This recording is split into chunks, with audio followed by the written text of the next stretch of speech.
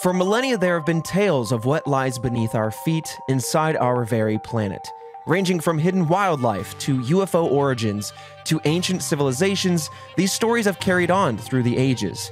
Today, we're going to discuss the legends and stories surrounding Hollow Earth theory. This is Red Web.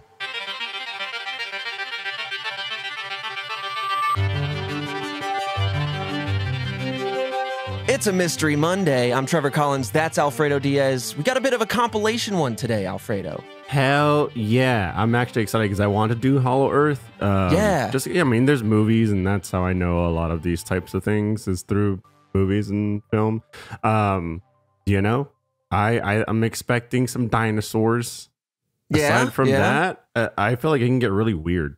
It can definitely get very weird. Uh, I'm so excited that we're covering this one because Hollow Earth theory, I think everyone kind of knows about, but there are so many unique anecdotes throughout time that almost substantiate this idea of hollow earth. Now, of course, by the end of this episode, we don't really have theories to explore, so I'm just going to kind of scientifically dunk on the theory of hollow earth. Got um, it. Yeah. But God, these stories are so fascinating to me. Yeah, I mean, there's just like uh, I, I would say more so the vast depths of the ocean is is one of the things it's like, oh, we don't really know too much about. And mm-hmm. then on top of that, just like the earth like from the surface to the earth's core, there could be so many things. So many.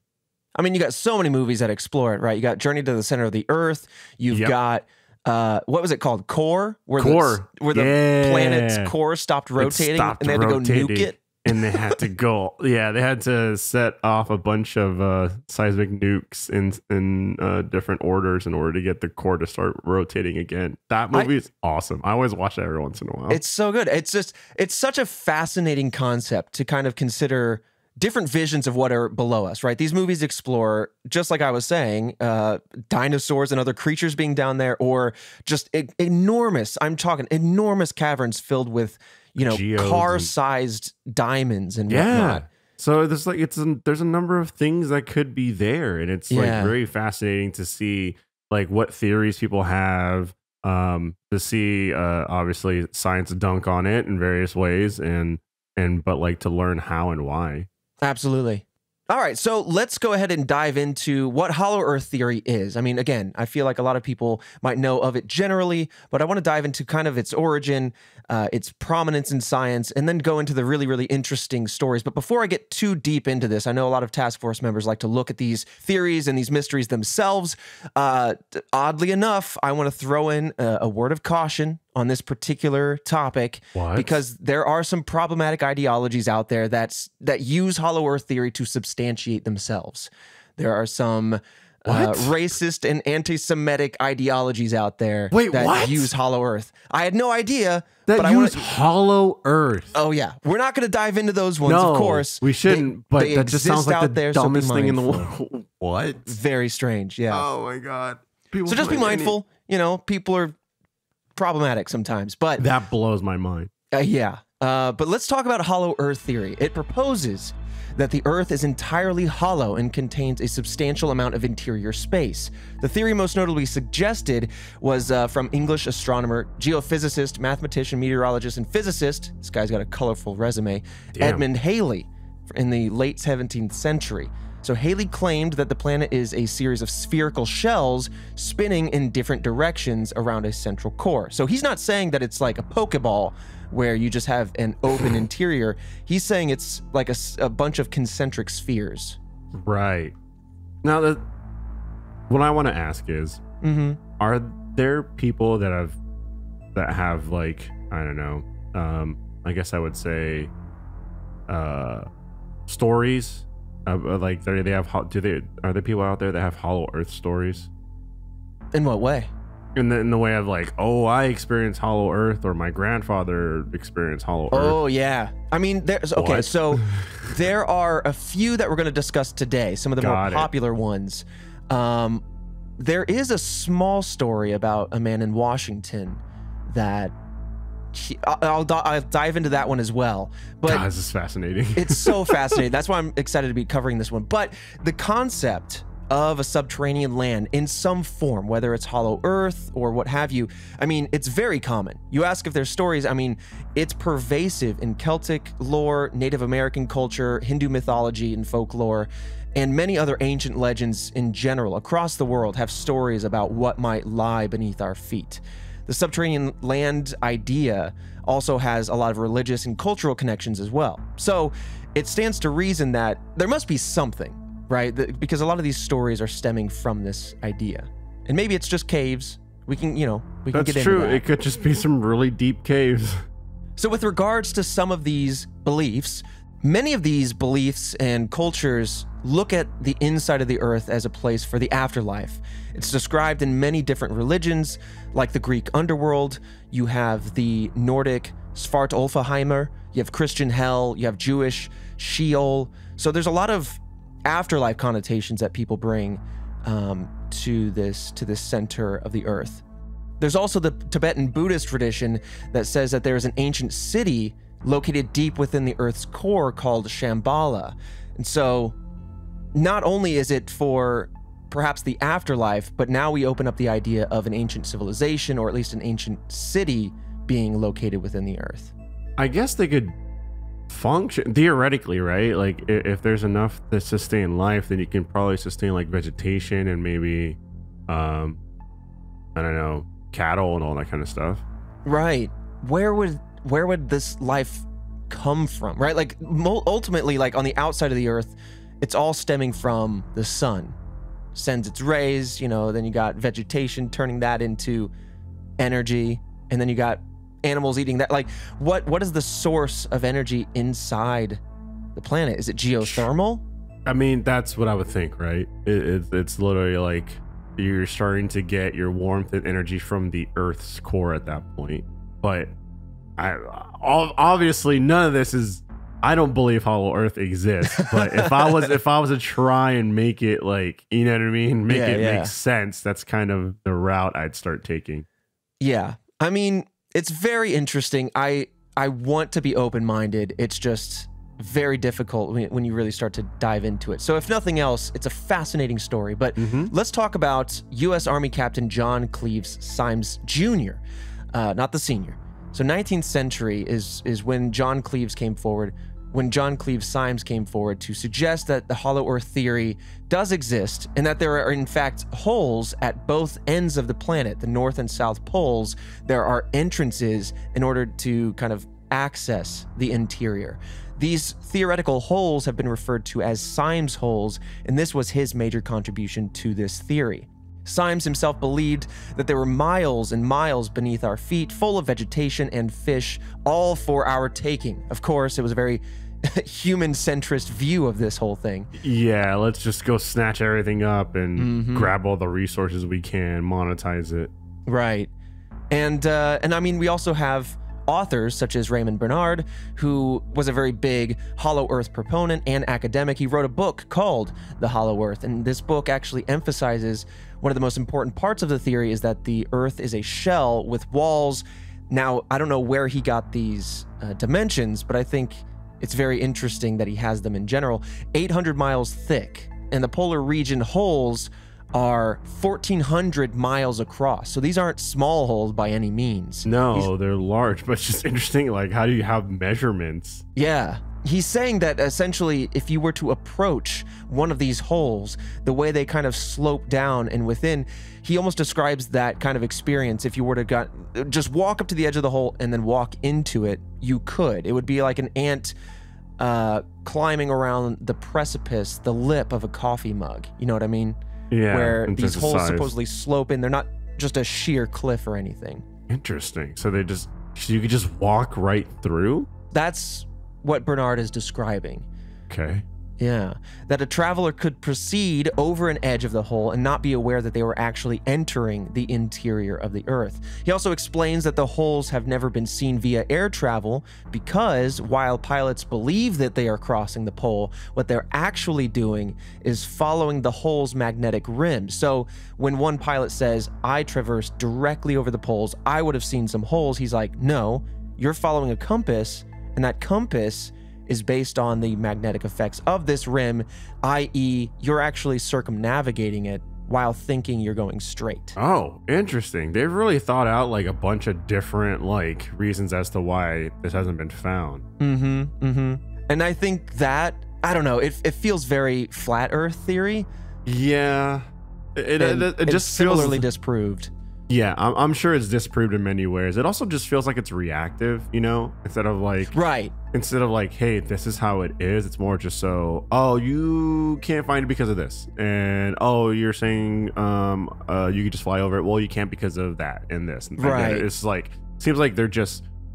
It's like made up as it goes, kind of. Right, right. You have moving goalposts of evidence. So yeah. every time somebody disproves one step, you go, oh, but this is the answer to it. Yeah. Right like I said, this is definitely going to be something that it can be scientifically, at least quite vividly debunked in a lot of ways, but I I love the origin of some of these stories. I love the cultural and religious impacts to human history. I'm going to jump I'm scrolling through my notes here. I'm going to jump straight to Mel's Hole.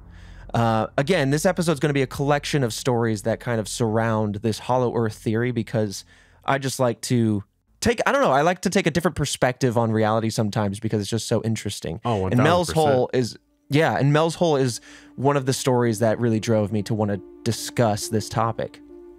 So, February 21st, 1997, a Washington urban legend was brought to the world's attention. You might have heard of this one. I know it went kind of popular on the internet in recent years, but a man named Mel Waters called into the radio show that we've discussed before, Coast to Coast AM which often covered paranormal topics and things of that nature. He described, when he called in, he described a bottomless pit on his property in Ellensburg. I don't know how he stumbled across this pit, if it just showed up one day, but he decided, hey, this is a huge hole, let's see how deep it is. And he measured the depth by using a lot of spools of fishing line that he had. Each of these spools, yeah, each of these spools was 5,000 yards. Do you want to guess, just off the top of your head, how deep he measured this hole to be by this method. God, he probably used multiple 5,000 yard spools. I'll give you that as the clue. Like 10? I'm just trying to think of how many spools this person actually has. Yeah, yeah. Uh, maybe like 10 spools. So you're thinking 50,000 yards? Yeah.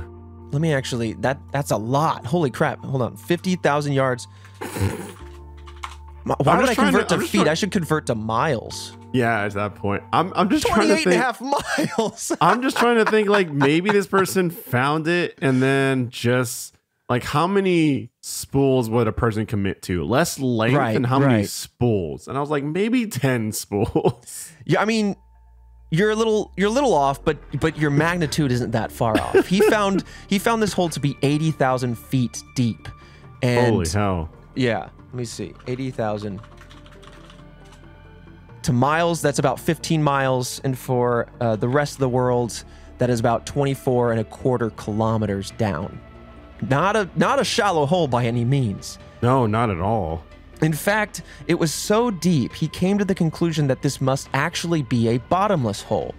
One little wrinkle that keeps coming to my mind every time I listen to this is that unless he had a weight on this thing, if he's lowering it down gently or i don't know if once it's 80000 feet away from you you're going to have a hard time with something as light and flimsy as fishing line figuring out if you hit the bottom yeah how would you even i like the idea that maybe he found a hundred foot hole and he's just got a huge pile of fishing yeah. line at the bottom and he keeps Wait, lowering how... it and he's like huh this must be bottomless and it just keeps looping up at the bottom yeah i mean how would you even track that it's hard to say. I mean, I want to trust him, but we're also taking his word for it, you know? Oh, a thousand percent. And I'm not saying the technology isn't out there, but I'm just, what I'm trying to get at is that's not just something that someone has flying around, right? The technology to measure out like bottomless holes. I, I wonder. I mean, to do something like this is to actually measure a hole, I feel like is he's done something similar to what would actually be done uh, with high tech equipment, where you would drill down. When you ran out of drill length, you would pull back up, disconnect, attach a new attachment, and then go down again. And you would just kind of keep adding attachments as you drilled down. Um, yes, that's how you would measure it out, right? By so his method's attachment. not. I mean, I've heard this for like finding the bottom of a lake or whatever, but anyway, I mean, th- he's got a huge hole on his hands, and he thinks it's bottomless, and that felt substantiated because when he said he shouted into the hole, he wouldn't hear any sound come back. There was no echo coming back up to him, meaning that the sound was just swallowed into this infinite abyss.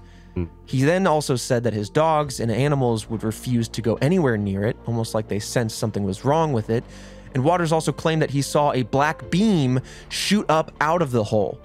Oh my goodness the right, story's once, getting once, wilder. Once you started mentioning the dogs, I was like, all right, here we go. Mm-hmm. Here's where it gets wild. And boom, a black beam shooting out.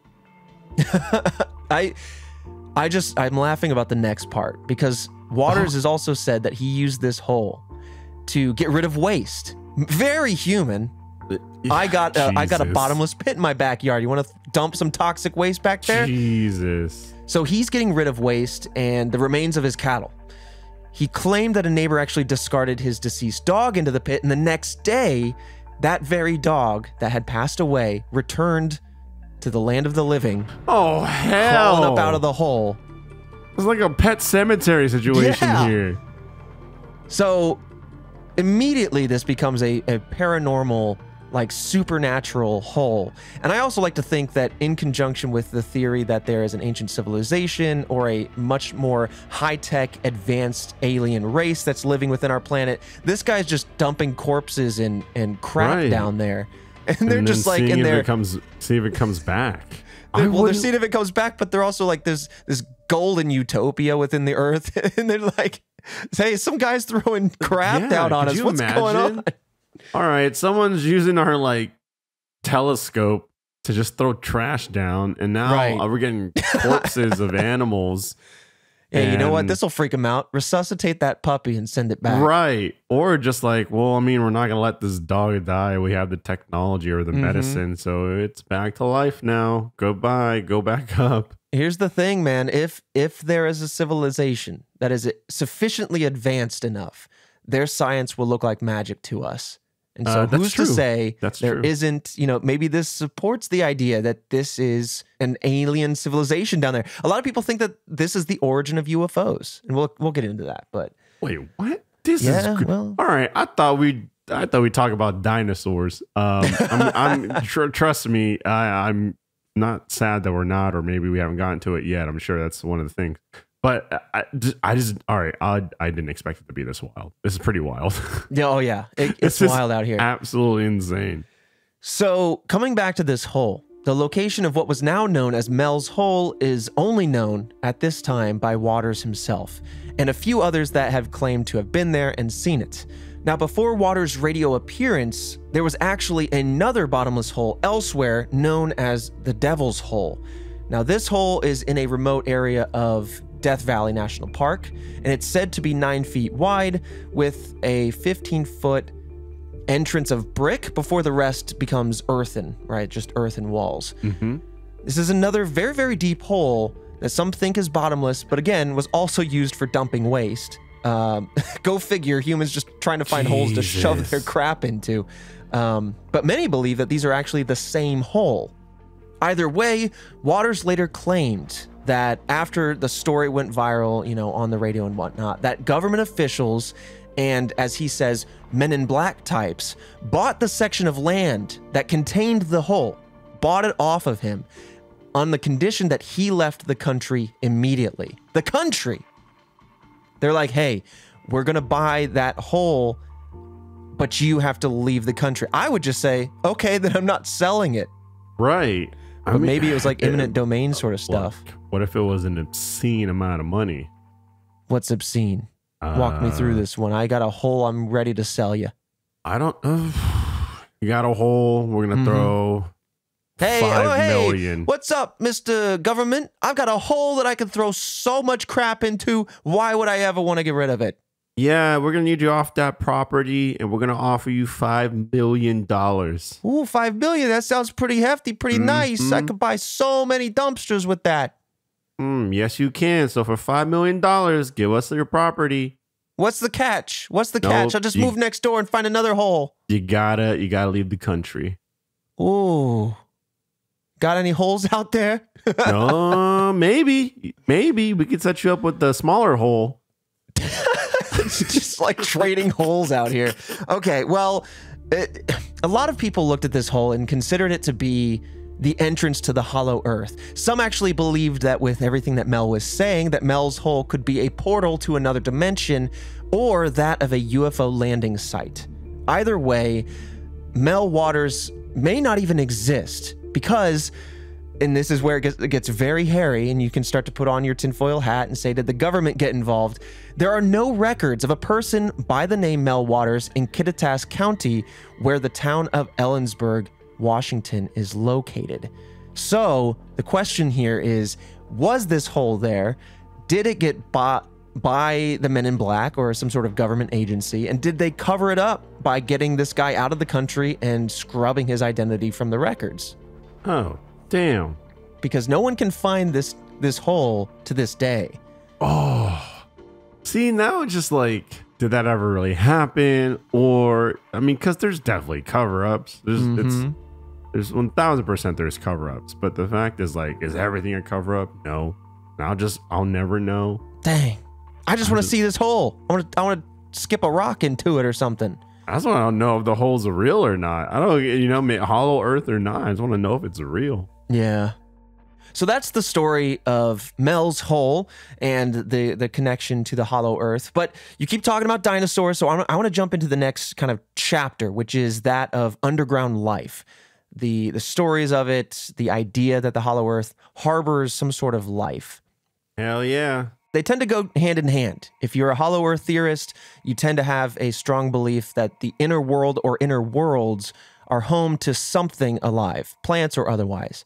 Now, the different ideas of what life might exist range from things like life very similar to ours, there are also theories that purport that there are UFOs and flying saucers that actually originate from within the planet come to the outer sphere where we are, observe human behavior, maybe perhaps tamper with our futures, preventing violence like nuclear war, etc., etc.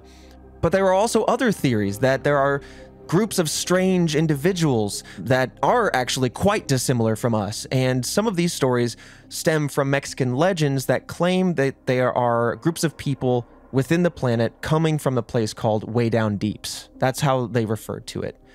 And with regards to how these people live within the planet, as we kind of talked about at the top, uh, you know, our our energy derives from the sun. Long story short, well, Edmund Halley's hypothesis of the hollow Earth alludes to the theory of a small sun hanging in the very center of our hollow Earth in a hollow space, and that's what creates the lush and livable environment on the flip side of the Earth's surface. Small sun, like that's a small sun hanging. It, uh, like the suns eventually just die.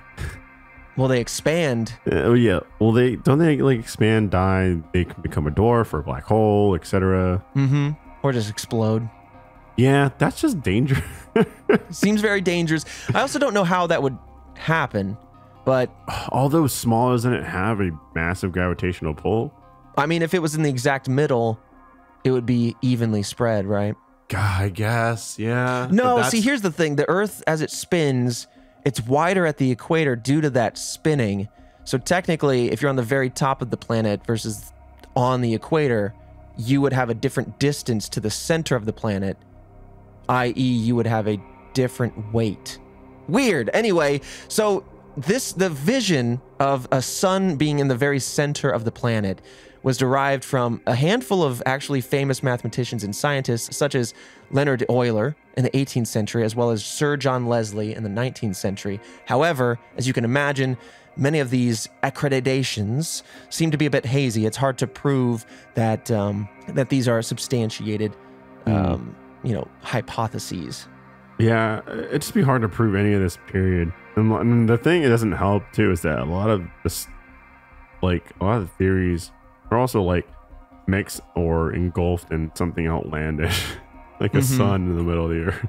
Also, like, I think it's quite interesting to think that UFOs came from the center of the earth, right? It could be like, I guess, like it would be an advanced civilization that is nesting towards the earth's core and is far more advanced and is using um, advanced technology like UFOs to come out of these holes, float mm-hmm. around, and and do things. It makes me think of like Atlantis, the story yeah. of Atlantis, where the city yeah. sunk and then they were just wiped. Well, what if they managed to, or always were, within the planet, and they developed separately, and they developed these high tech, you know, whatever. A lot of a lot of people think that the UFOs stem from Hollow Earth because there have been so many stories of people seeing UFOs coming up out of the ocean or coming back from you know the airspace coming back into the ocean, almost as if there are certain spots within lakes and other bodies of water that they come in and out of. I did not know that. Yeah, that's it's, crazy. That's yeah. It's uh, it's partly why I wanted to do this episode is because there's so many just little loose ends like that. The more we discuss mysteries at large, the more I start to see these little trends that all kind of fit within a topic. And so that's why I wanted to just kind of talk about some of them, but there, there's even like fighter pilots that have declassified videos where they are tracking a like a little spherical object or some sort of pill shaped object, you know, mm-hmm. um, and you see them go what looks like below the waves or disappear and then come back up out of the waves. I don't know. I don't know. Maybe maybe there is something to that, or maybe there's just something we don't fully understand yet. But it's it's just weird to track objects that seem to be going fast that come in and out of the water um, if they're not like a dolphin that just right, breaches exactly. water like crazy. I just I just never thought of it. I don't know. I just never thought about it in that way, right? That it would. I, I always thought it'd float up and away as opposed to mm-hmm, like mm-hmm. floating into the water ocean. Here's the thing: if you had to choose, which was more likely, Atlantis or Hollow Earth? Oh my gosh! And they couldn't be together, huh? No, you have to choose one or the other to be. I real. would say the idea of Atlantis got so exaggerated, right? Like we all yeah. believe that it's like this hyper advanced thing that they're like flying around and teleporting and stuff. I think if you just like take it back to basics, that it was just a utopia for its time, and then nature took its course and it got you know swept out to sea or what mm-hmm. have you. I think that's way more believable than the bending of physics to make the Earth hollow. Or or hollow core isn't as like flashy as you think it is. Maybe it's just something that's dug way deep, right? And then people are just nesting in it. Nesting? Yeah. You talking about just like cave dwellers?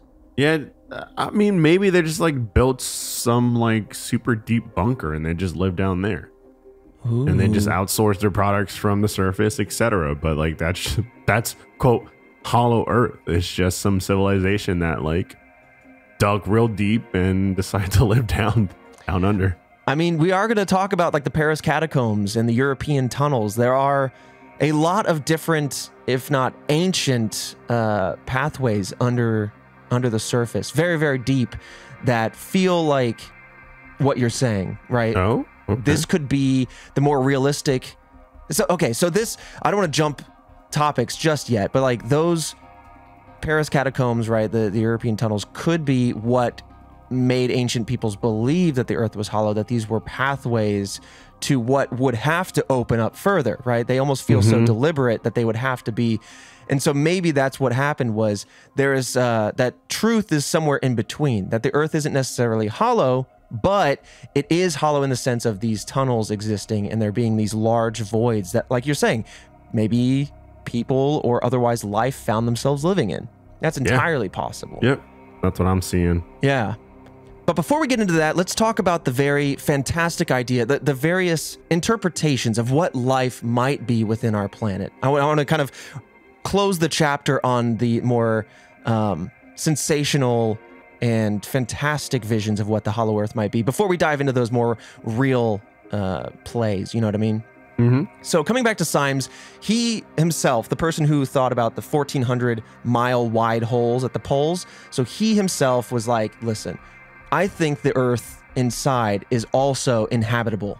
If we could find it, we would find ourselves like stocked with vegetables, stocked with animals, maybe even other humans or human type uh, species that we would be able to communicate with. The most commonly believed idea of who or what inhabits the Hollow Earth is that of a lush tropical paradise. I mean, we've seen it in the films, right? You're talking about dinosaurs. Oh, yeah. You got the remake with The Rock, mm -hmm. you got mm-hmm. those giant mosquitoes. But yeah, I mean, that's what a lot of people envision to be within the planet. Uh, and, and then within that tropical paradise, there is some form of ancient, uh, yet advanced race of humans or aliens or giants. Because. Yep a lot of people think, and this is again diving back into the world of cryptids, a lot of people believe that this internal world, whatever we want to call it, is the origin of a lot of cryptids or the origin of giants, if not all cryptids. Maybe or, this is just what it is. The uh, or King Kong. King Kong. Yeah, yeah, we got the kaiju. yeah, they explored Hollow Earth in that movie.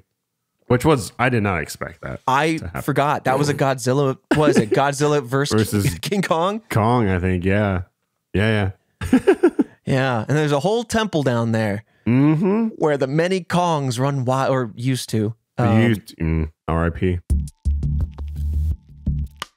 Well, hello again, Task Force. You know what it is. It's the time where I get to sit down with my phone in front of me and then talk to you directly about some fantastic things we've got going on.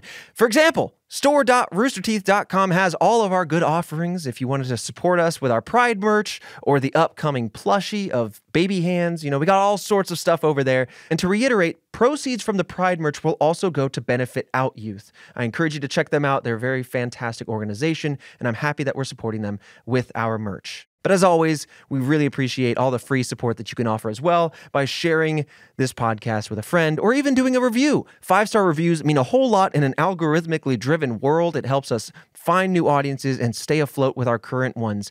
It's weird. It's a weird world where you subscribe to something and it doesn't come across your plate unless you uh, unless you seek it out. So help us uh, fight the algorithm. Oh, big algorithms out there trying to get us. Anyway, uh, thank you all so much for your support. And I want to talk about some fantastic sponsors that we have today. This episode of Red Web is sponsored by BetterHelp. Life can be overwhelming, and many people are burned out without even knowing it. Symptoms can include lack of motivation, feeling helpless or trapped, detachment, fatigue, and more. We associate burnout with work, but that's not always the only cause. Any of our roles in life can lead us to burnout, and BetterHelp Online Therapy wants to remind you to prioritize yourself. Talking with someone can help you figure out what's going on in your life, what's causing your stress, perhaps. BetterHelp is customized online therapy that offers video, phone, and even live chat sessions with your therapist so you don't have to see anyone on camera if you don't want to. I have that very same uh, turn off the camera, I'm shy kind of situation going on myself. So I really appreciate that part of their service. It's much more affordable than in person therapy, and you can be matched with a therapist in under 48 hours. Task Force, if you're interested, you can get 10% off your first month at betterhelp.com slash redweb. That's B E T T E R H E L P dot com slash redweb. This episode of Red Web is also sponsored by Raycon. Lately, I've been listening to a lot of Kendrick Lamar. I'm trying to get ready for his newest album dropping here in, looking at my watch for the date, I think it's about two weeks, just shy of two weeks as of recording this thing, just to date myself here. But it's been great. Uh, one reason it's been great is because I get to use my Raycon wireless earbuds wherever I do it. Usually I'm on my walks or riding a bike, and they're nice and snug and they stay in there. They also have very flashy colors and some less flashy colors if you want to accessorize with these these earbuds to fit your everyday look. Raycon's everyday earbuds look, feel, and sound better than ever with optimized gel tips for the perfect in ear fit. These earbuds are so comfortable. I use the big ones because I got those big honking ears. I like to listen. You know what I mean? So I put on the big gel tips. They don't fall out, they don't go tumbling when I'm running down the street. It's, it's pretty nice. Raycons offer three sound profiles to match what you're listening to. Plus, they have noise isolation and awareness mode, which is fantastic. So you can choose to be immersed in the sound if you want, but you can also hear your surroundings when you need to if you're in an airplane or someone someone's pestering you at the uh, the local barista place, uh, and you you want to talk to them. Uh, but it's no wonder Raycon's everyday earbuds have over forty nine thousand five star reviews. Check out Raycon's wireless earbuds. My guess is that you're going to want to leave them a five-star review as well. Go to buyraycon.com slash redweb to get yourself 15% off your Raycon order. Once again, that's buyraycon.com slash redweb to score 15% off. Buyraycon.com slash redweb. This episode of Red Web is also sponsored by Upstart. Saying goodbye to high interest credit card debt is one of the first steps towards financial independence. But the interest month after month can feel like you're on a never ending hamster wheel, and that's where Upstart comes in. Upstart powered personal loans can help you pay down high interest debt all online with simple and easy to understand payment terms. Upstart has helped over 1.8 million customers on their path to financial freedom. Whether it's paying off credit cards, consolidating high interest debt, or funding personal expenses, Upstart can help you Get one fixed monthly payment with a clear payoff date. Don't wait and check your rate today at upstart.com slash redweb. Again, that's upstart.com slash redweb to check your rate today. Don't forget to use our URL to let them know we sent you, and loan amounts will be determined based on a few factors such as credit, income, and other information that you're going to provide during your loan application process. Go to upstart.com slash redweb to get started. And remember, do your due diligence. Finances are a very important part of your life, and so I want to make sure that you do your research research. And with that said, let's get right back into the mystery. But yeah, like that, what was interesting to me about that was like, it wasn't that the Earth was this very thin shell of a planet with this huge hollow Earth. It was a super, super long, tiny tunnel that made its way to this tiny little pocket on the middle of the Earth. It just felt like a big old cave. So now that we've talked about that broadly, uh, I want to kind of help substantiate some of the opinions out there about there being an ancient yet advanced civilization down there. Um, Rodney Cluff, who is a Hollow Earth believer, wrote about a population in his book called World Top Secret Our Earth is Hollow. So he says that the inhabitants are believed to be descendants of the ancient races such as the Lemurians, or the Lost Ten Tribes of Israel, that they were guided there through the North Polar openings by God Himself, and that the population is generally described as peace loving and extremely advanced with flying saucer type technology.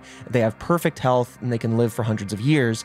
And that is why they that we see flying saucers sometimes, and that these uh, people are keeping watch over us as human beings and trying to make sure that we don't annihilate ourselves. Right, um, because they also live on the planet as well. Right. Uh, and, and I'm sure that there's some sort of environmental balance between the outer and inner worlds. Um, but a more strange theory about who hollow who inhabits the hollow earth is that it's actually us, you and me, uh, just regular people. Um, so it, it is also kind of like the movie Us, is that oh. was it was it that one oh. where you have like the tethered, you have the like, yeah, clone yeah, yeah. version of you? Yeah. so this one is where it starts to get much more fantastic. But natural healer and cult leader Cyrus Teed formed an idea about cellular cosmology, where the entire universe actually exists all within a shell.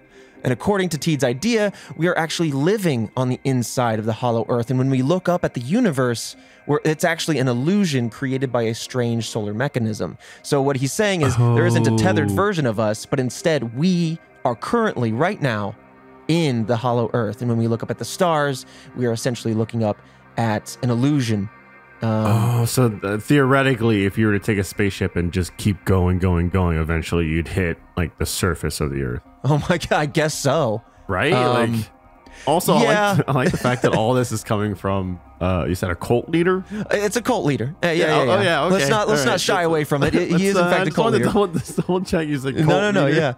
Yeah. Um, also, in, if it helps, uh, this cult was disbanded after Teed's death in 1908. So if that gives you a time frame as well mm. as to mm. uh, you know, because then we started exploring 60 years after this. It started exploring space, and then you start to poke holes in the idea that well, we kind of kept going up and we landed on something.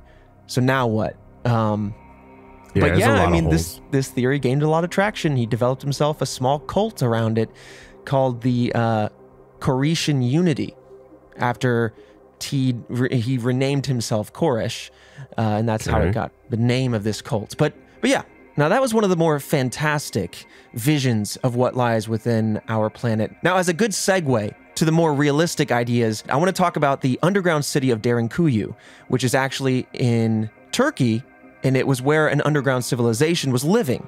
And uh, and so this is kind of a natural segue to the tunnels and to the catacombs and everything, because this was an actual place that existed, and it went. It had like eleven different levels. Uh, within this kind of underground city, and it reached up to 280 feet below the surface. So it's not super deep, right? But but it does really start to give you the idea that maybe there's something here, and maybe that some of these stories are just extra versions of, of what was actually going on. See, that's what I'm saying. What if it's just a somewhat deep civilization?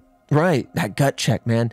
So this was one of the largest, if not the largest, excavated underground cities in Turkey. It was large enough to have sheltered as many as 20,000 people, uh, enough room for wine and oil presses, stables, cellars, storage rooms, refectories, and chapels. So they got a whole thing going on down here. And this city was formed during the Byzantine Empire when it was primarily used for protection during various wars going on. And, and throughout the ages, it seemed to be used by various groups and religions uh, and religious peoples as a place for protection.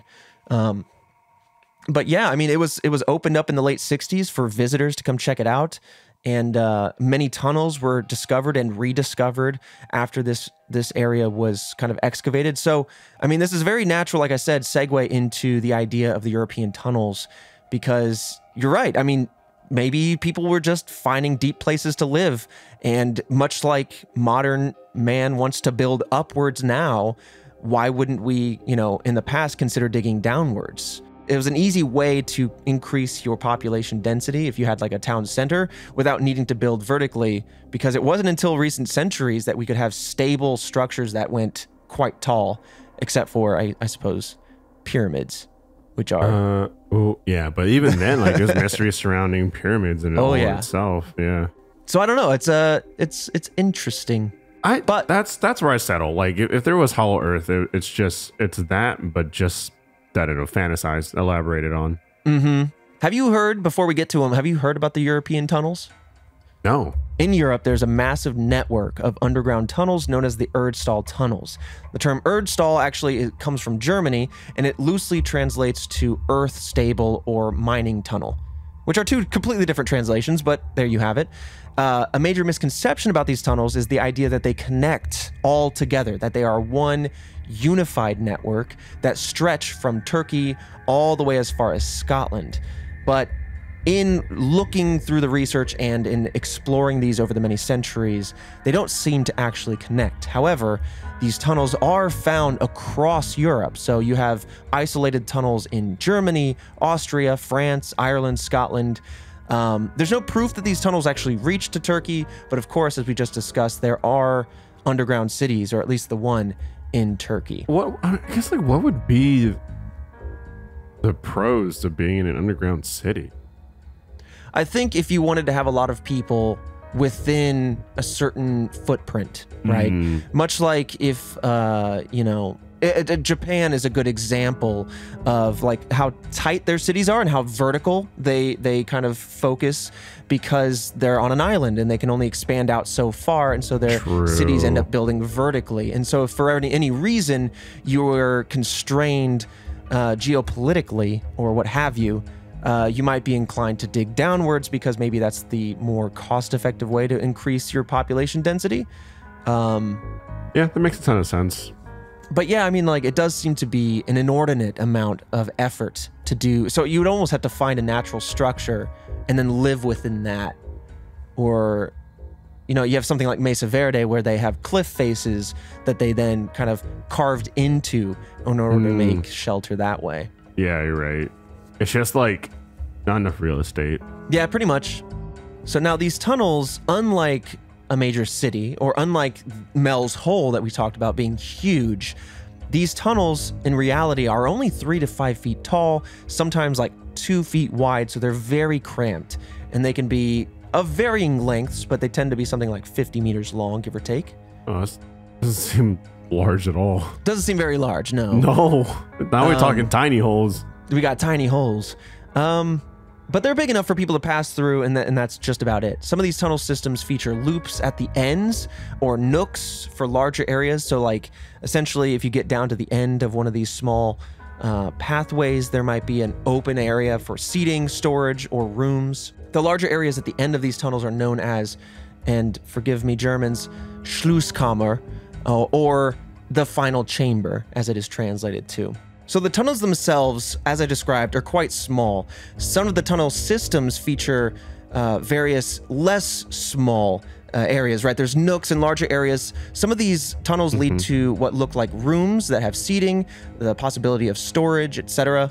Um, a lot of people have tried to figure out how old these tunnels are, but there's so little archaeological available evidence and uh, and it makes determining the age of these tunnels very very difficult, which thereby makes the purpose of these tunnels very difficult to determine.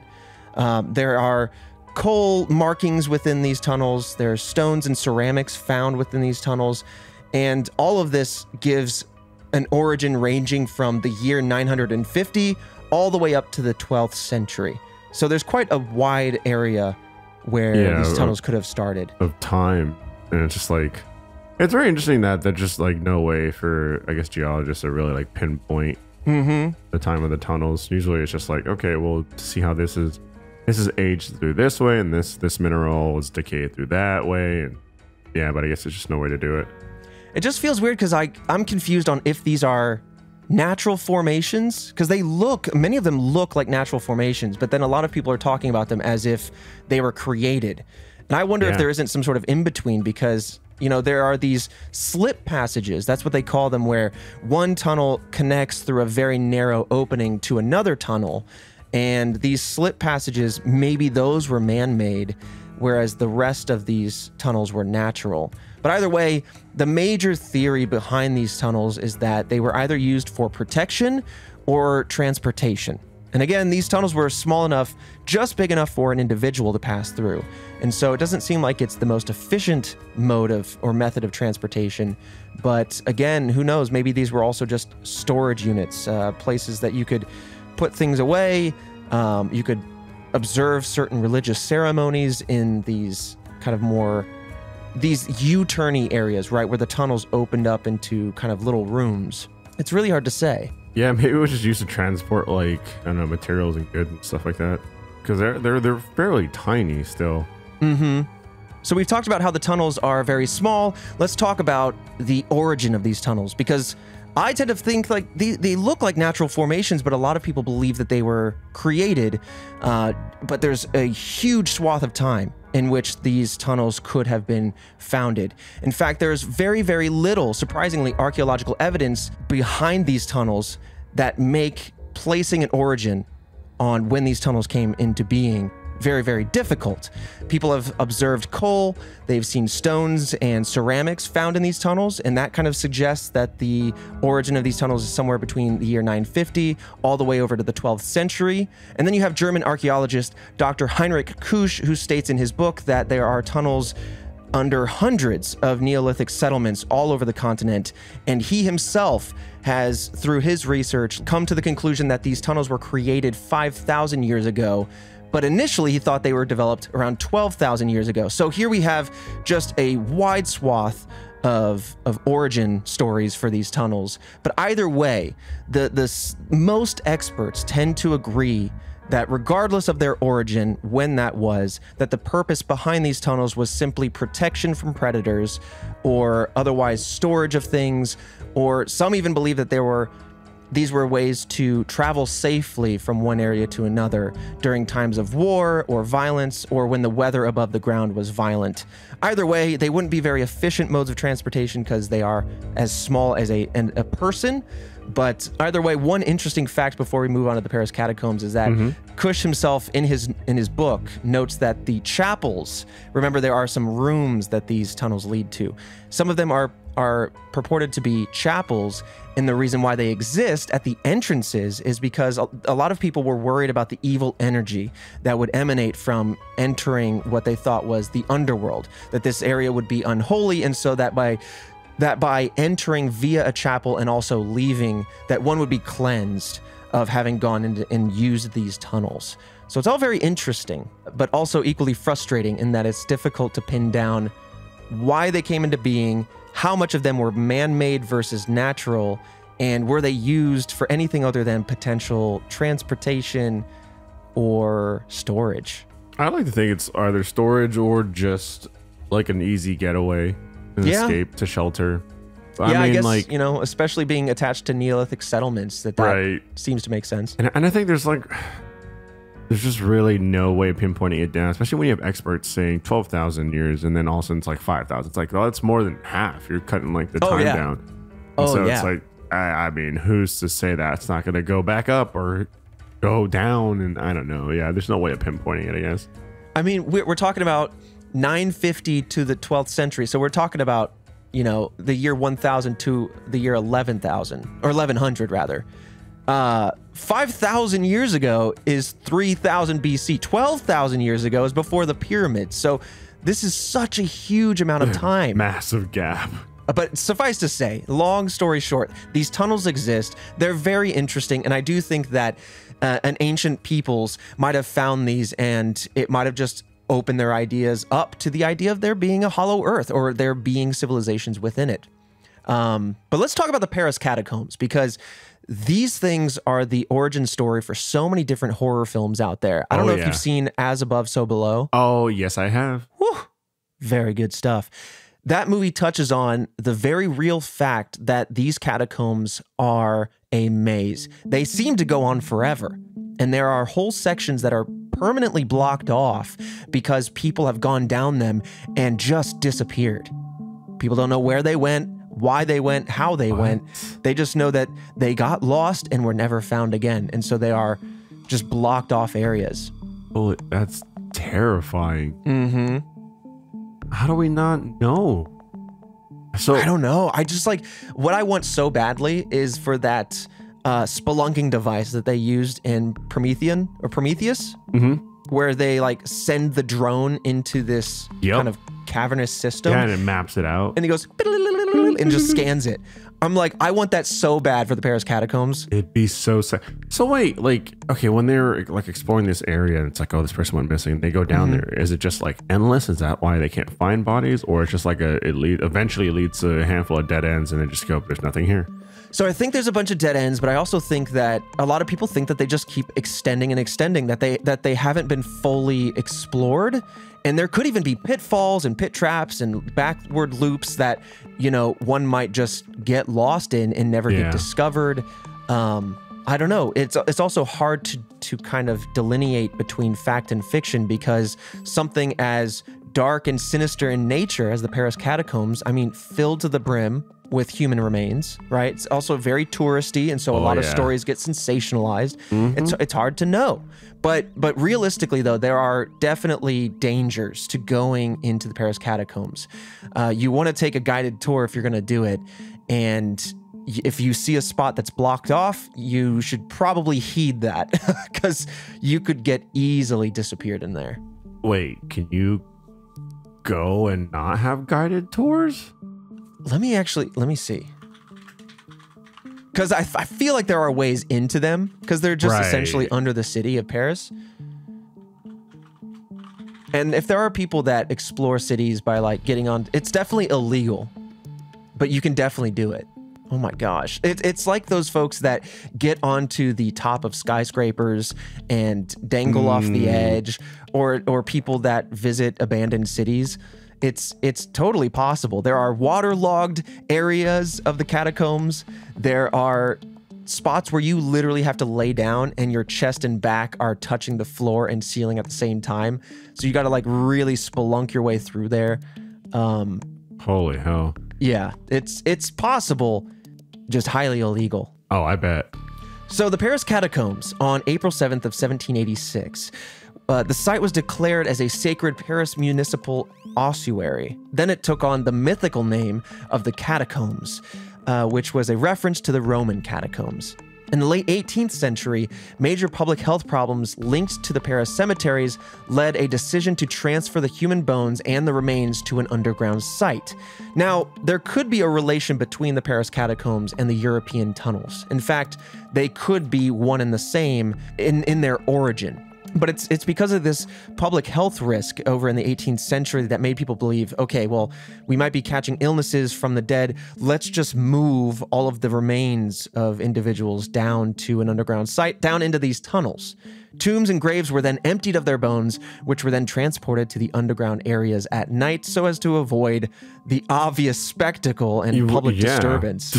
Just like um, carrying these bodies in the streets. Wait a minute, that's my paw. You know, like oh god, just tumbling bones around it. But I mean, that's that's why when you look at the catacombs, it's just a collection of bones. Yeah. Sometimes you see the really dramatic photo of just like a wall of skulls. Um, yeah, and that's kind of seemed like they're just they're just like, all right, get them in there and let's mm-hmm. get out, let's leave.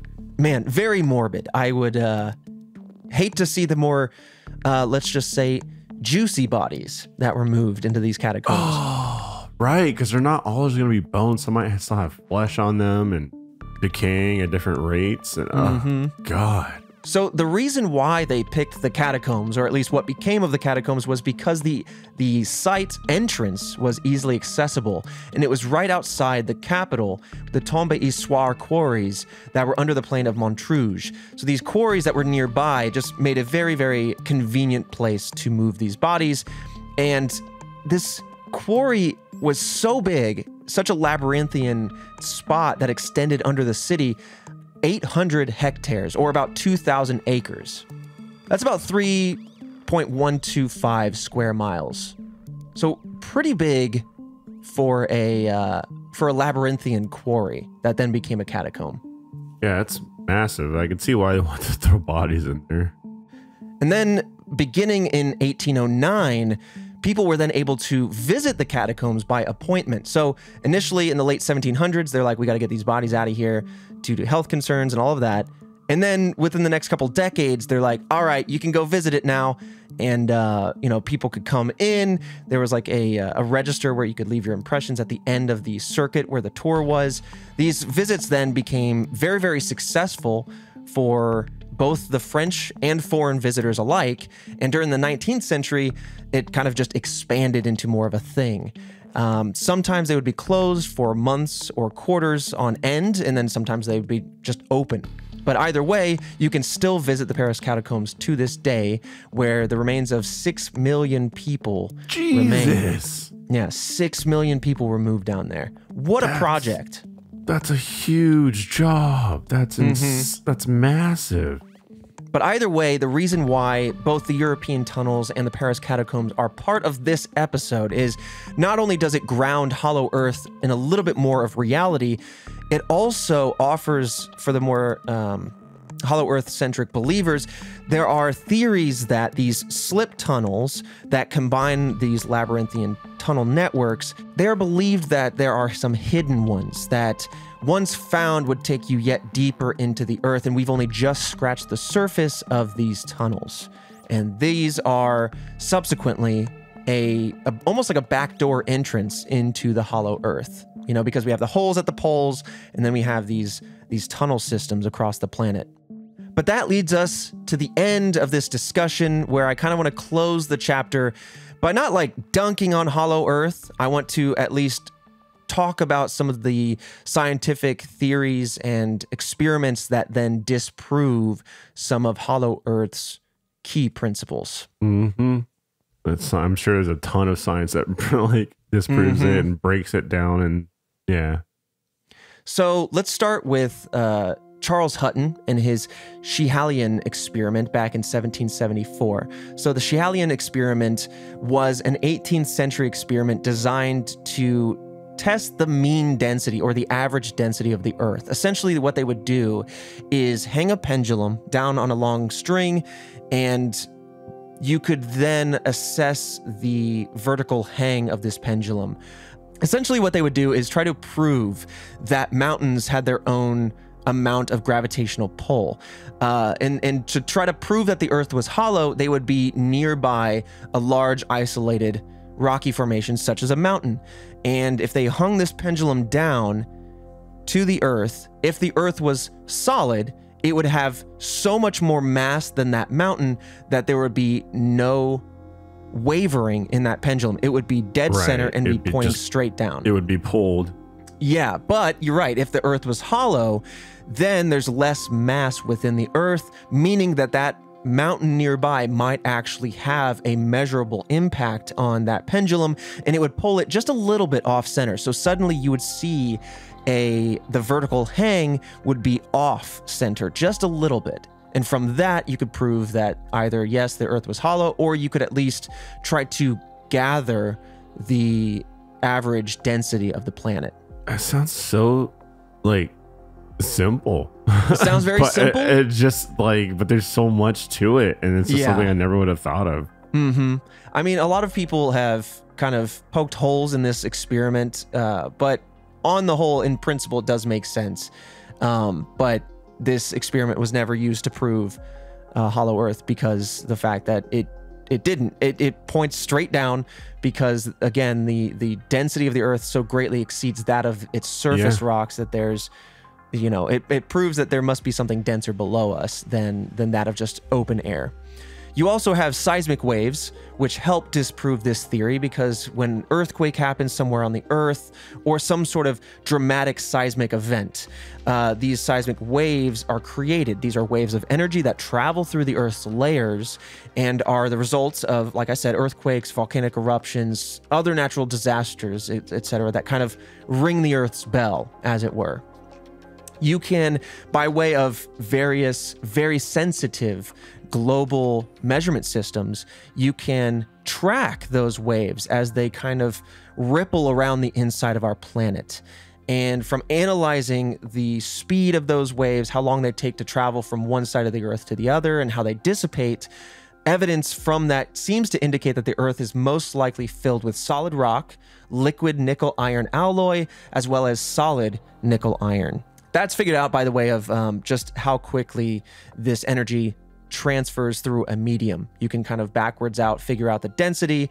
And then from that, you can like look at how people analyzed rock and soil samples and then go, okay, well, nickel iron makes a lot of sense. It's the most abundant and also mm-hmm. it holds that density. But then. It's not, it's, I mean, that, it's it. No, no all too hard. No, it all makes sense. It's just way smarter people figuring stuff out. oh yeah, oh yeah. I mean, such a uh, such a good reason for the world to be global, right? Because you mm-hmm. have just people everywhere with these with this equipment, and you imagine like ancient civilizations you know, if they were in isolation, maybe that's why they all developed the same thing around the same time because whatever. But now that we can like speak to one another at the speed of light and we can compare measurements and share notes, you you, you can figure this kind of stuff out like so much more easily. But then uh, the the last kind of wrinkle in the idea of Hollow Earth is is is gravity. Obviously, we weren't there to watch the planet be born, but massive objects in general tend to clump together gravitationally and if you were to kind of extrapolate that out over billions of years, that's how you get planets and stars and uh, a lot of just yep. dust and atoms kind of collect. And uh, they are inclined to create a solid object. It would be very, very difficult to create something that is traditionally just hollow. Tunnels, passages, caves, those can all be formed later. Um, and they have obviously but i don't think that that's what we're referring to when we say traditionally hollow earth yeah it would all the everything would pack together it wouldn't mm-hmm. just be like okay we're just going to have a pocket here and a pocket there right you know you look at the the godzilla versus kong depiction of of hollow earth i think that makes more sense because of how thick the crust is if you're going to you know kind of open mm-hmm. up the mm-hmm. idea of hollow earth but the traditional sense of hollow earth if there's multiple spheres within one another, or if it's like you can traverse through the Earth's crust as a human being and pop into the interior world, it would mean that the crust would be so thin, right? Given the size of the planet, that the Earth would just kind of collapse. It wouldn't have enough structure uh, to hold itself up. Yeah, that makes sense, right? Because then everything, just the weight and the gravitational pull mm -hmm. would just start crumbling down on top of each other. Yeah. But either way though, I mean that that kind of like in my scientific scientifically inclined mind closes the book on Hollow Earth, but man, do I still love a good Hollow Earth story. I, I, just like all the stories that come out about people saying like they saw these beams of light coming up from outside of the earth or aliens stemming from that. There's so many like shorter shorter stories that apply to this that I just I just like it for at least an entertainment value. Yeah. Um, oh, that's 1000% why I wanted this episode because yeah. I know there'd be really random stuff. And uh, obviously, you know, the catacombs being mm -hmm. one, and that just seems like uh, a whole mystery in itself and with the disappearances and then also UFOs coming out of the like. oh, wild. yeah. You know, aliens are always behind it, they're always in there. I mean, but also, good point. You know, we could be the aliens. Oh, my God well, that that's a whole theory that uh, UFOs are just future humans traveling back yep. in time. What if we're just watching ourselves like a zoo? Yeah, Weird. watching, studying, seeing what we can, where we went wrong. I mean, there's all kinds of like time travel, like books and comics and let movies. Me, let me blow your mind before we end this one. You realize if time travel is ever to be realized, or if it's possible in any in any way, that you would be able to, I'm going to hyper simplify this, you would be able to peer back through time through almost just a window. You would basically just be able to look back along the time stream and be able to see the past. Right now, you could be being watched by future Diaz's, right? Yeah. Your great, great, great, great, great grandkids could be peering back on you right now. Mm-hmm. So literally, mm-hmm. it makes me feel like nothing is secret. No, nothing at all. And then you have people that's like, oh, I want to be off the grid and hide all my information. Then there could be super advanced technology that's mm-hmm. more invasive than anything ever created. Oh man, that kind of gives me the heebie-jeebies thinking about it. But this has been the Hollow Earth uh, discussion. There are so many like smaller stories that I think we're going to cover on our TikTok platform because they're just like little like minute bite sized anecdotes. But uh, I'm glad we did another like interesting episode where we took a, a, subject that seems to be at the center of a lot of different, very interesting stories and, and then kind of combine them together. But with that said, Fredo, I'll see you right back here next Monday for another mystery. Later, Task Force.